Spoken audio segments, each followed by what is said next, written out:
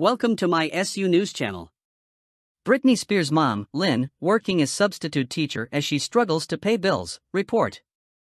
Britney Spears' mom, Lynne Spears, has reportedly fallen on hard times following yet another fallout from her multi-millionaire daughter.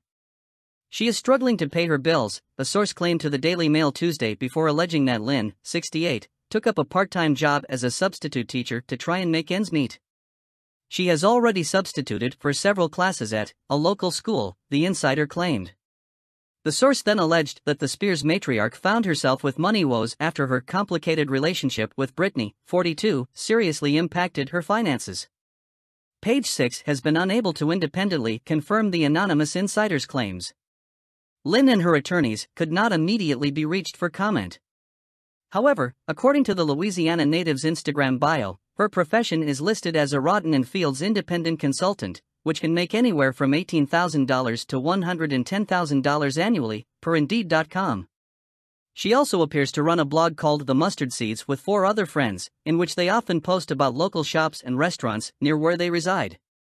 However, it appears to be more of a passion project than a side hustle since they don't have a major following. When Lynne's children, including Britney, Brian, and Jamie Lynn Spears, were growing up, she ran her own preschool and daycare center, but she has not posted about teaching on social media recently. However, the mother of three did try to seek financial assistance from her eldest daughter last year. In April 2022, nearly five months after Britney's conservatorship was officially terminated, Lynne asked for the Grammy winner to pay the legal fees she accrued during the guardianship. Lynne, who had attended the hearings as an interested party, was seeking for Britney to cover the $660,000 plus bill. While acknowledging that the requested fee is in the six figures, Lynne respectfully suggests that the request pales in comparison to the millions and millions of dollars that were spent by Jamie Spears to keep Britney in her untenable conservatorship and to perform activities that Britney did not request and that were not in her best interest, her attorneys argued in court docs obtained by page 6. However, Britney's attorney, Matthew Rosengart, quickly shot down that request, noting that there was no legal basis for it and that his client had been her family's breadwinner for years. He also pointed out in his filing that Lynne for at least a decade resided in a large, expensive house owned by Britney Spears in Kentwood, Louisiana, for which her daughter has also continuously and generously paid Lynne Spears utilities, telephone services, insurance, property taxes, landscaping, pool work, pest control, repairs and maintenance, totaling approximately $1.7 million. Six months later, in October 2022, Lynn withdrew her request, according to The Blast.